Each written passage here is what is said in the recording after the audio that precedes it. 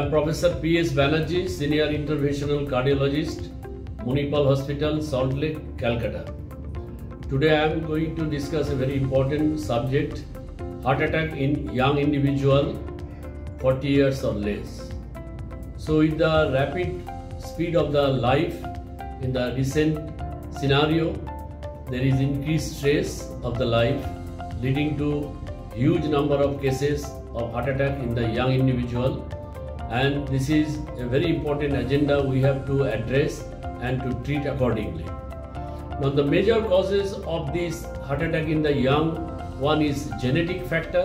If the parents, any of the parents being a heart patient or died suddenly below the age of 50 or 55, the siblings are at risk of developing heart attack at the early age.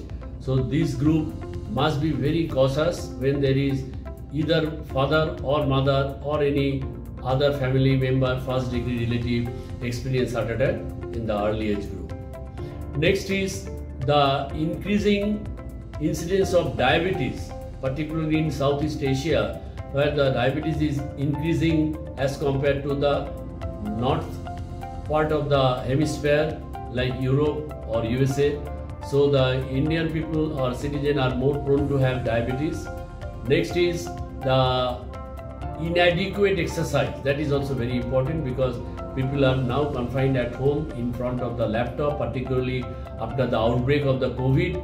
There is a lack of exercise and taking lot of junk food and ordering food online and thereby taking a lot of calories as well and minimum exercise being done calorie burnt out. And another important risk factor is smoking then is alcohol abuse, high blood pressure and cholesterol or dyslipidemia or hypercholesterolemia. So all these factors together results in the increased number of heart attack in the young individual. So to prevent it, the most important point is the lifestyle modification. One must be very serious about that, that they should take care of their body weight.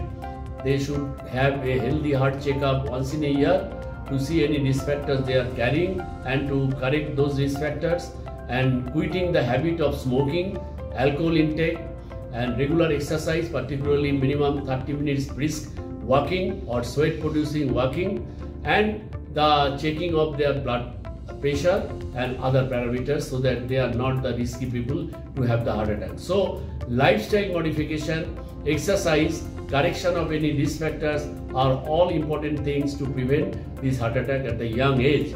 So to conclude my talk, I must say you should remain healthy, happily as the heart is concerned if you are conscious about your diet, about your body weight, about your risk factors. Thank you.